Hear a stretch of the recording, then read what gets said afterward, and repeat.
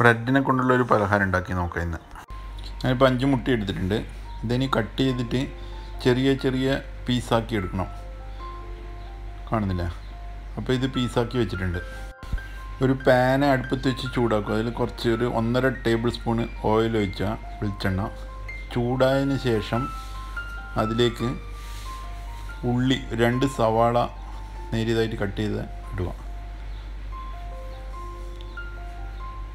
എന്നിട്ട് അതിനകത്ത് കരിവേപ്പിലിടുക പിന്നെ കുറച്ച് പച്ചമുളക് രണ്ട് പച്ചമുളക് കട്ട് ചെയ്തിട്ടിടുക കുറച്ച് ഇഞ്ചി ഒരു ടീസ്പൂൺ ഇഞ്ചി ഉപ്പ് ആവശ്യത്തിന് ഇട്ടതിന് ശേഷം ശരിക്കൊന്ന് മിക്സ് ചെയ്തിട്ട് കുറച്ച് നേരത്തേക്കൊന്ന് അടച്ചു വെക്കുക.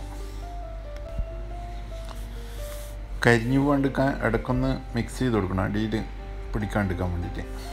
അതിന്റെ അകത്തേക്ക് ഒരു കാൽ ടീസ്പൂൺ മഞ്ഞൾപ്പൊടി ഒരു ടീസ്പൂൺ ഗരം മസാല ഒരു ടീസ്പൂൺ ചിക്കൻ മസാല അര ടീസ്പൂൺ മുളക് പൊടി ഒരു ടീസ്പൂൺ കുരുമുളക് പൊടി. ഇതൊന്ന് കരിഞ്ഞു പോകാണ്ട് നല്ലോണം ഒന്ന് മിക്സ് ചെയ്യാം. അതിന്റെ ഒരു ടേബിൾ സ്പൂൺ വെള്ളം ഒഴിച്ച് കൊടുക്കുക. അടച്ചു വെക്കുക. ഇത് വെന്തിട്ടുണ്ട്. ഇനി ഇതിന്റെ അകത്തേക്ക് നമ്മൾ നേരത്തെ കട്ട് ചെയ്ത് വെച്ച മുട്ട എടുത്തിട്ട് നല്ലോണം ഒന്നും കൂടി മിക്സ് ആക്കും നല്ലോണം മിക്സ് ആയതിന് ശേഷം ഒരു പാത്രത്തിലേക്ക് അത് മാറ്റുക.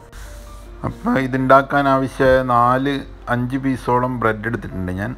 അതിന്റെ സൈഡ് കട്ട് ചെയ്തിട്ട് അതിന്റെ പീസസ് എടുത്തിട്ട് നമുക്ക് ബ്രെഡ് ക്രംസിന്റെ ആവശ്യം വരും. അതിന് വേണ്ടിയിട്ട് ഒരു മിക്സിയിലിട്ടിട്ട് നമുക്കത് ക്രഷ് ചെയ്തിട്ട് എടുക്കാം അപ്പോൾ ഇത് ക്രഷ് ചെയ്ത് എടുത്തിട്ടുണ്ട് ഇനി നമുക്ക് ഒരു പാത്രത്തിൽ വെള്ളം എടുക്കുക രണ്ട് ഗ്ലാസ് വെള്ളം എടുത്തിട്ട് ബ്രെഡ് അതിൽ മുക്കി നല്ലോണം കൈനെ കൊണ്ട് പ്രസ് ചെയ്തിട്ട് വെള്ളം കളയുക.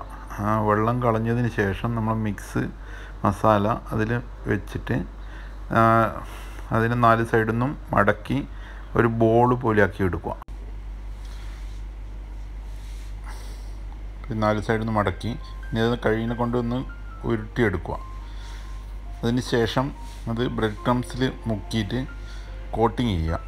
എന്നിട്ടത് ഒരു പാത്രത്തിലേക്ക് മാറ്റി വെക്കുക. ഒരു പാന് എടുത്ത് ചൂടാക്കി അതിൽ ഓയിൽ ഒഴിച്ച് ചൂടായതിന് ശേഷം ഈ ബോൾസ് എണ്ണയിൽ ഫ്രൈ ചെയ്യാനിടുക. ചെറിയ ചൂടിൽ ഫ്രൈ ആക്കണം അല്ലെ കരിഞ്ഞു പോകും ഒരു സൈഡ് പെട്ടെന്നാവും അത് കഴിഞ്ഞ ശേഷം അതിനെ തിരിച്ചിടുക. തിരിച്ചിട്ടതിന് ശേഷം കുറച്ച് നേരം അതും ആയിക്കഴിഞ്ഞാൽ ഫ്രൈ ആയി എടുക്കും. ഇത് ഒരു പാത്രത്തിലേക്ക് മാറ്റി. ബ്രെഡ് എഗ് ബോൾസ് റെഡി ആയിട്ടുണ്ട്. ഇത് വളരെ എളുപ്പത്തിൽ ഉണ്ടാക്കാൻ പറ്റുന്നൊരു പലഹാരമാണ്. എന്റെ ഒരു ഫ്രണ്ട് അർഷാദ് പറഞ്ഞാണ് ഞാനിങ്ങനെ ഒരു പലഹാരത്തിനെ പറ്റി അറിഞ്ഞത്. അങ്ങനെയാണ് ഇത് ഉണ്ടാക്കാൻ ശ്രമിച്ചത്. നിങ്ങളൊന്ന് ഉണ്ടാക്കി നോക്ക്.